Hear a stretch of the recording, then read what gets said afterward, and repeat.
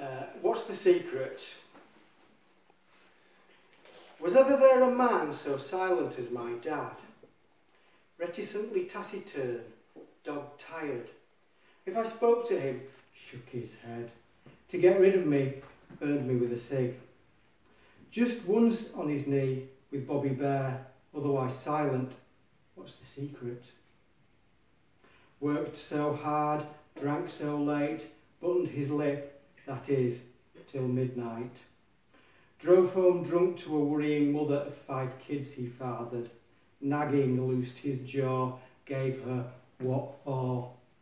Women's liberation, not for him, needed her at home, cooking. Smashed the furniture to prove it. Where's the one quiet as dad, diffident, indifferent, why so secret? Official Secrets Act, National Service is where he cracked.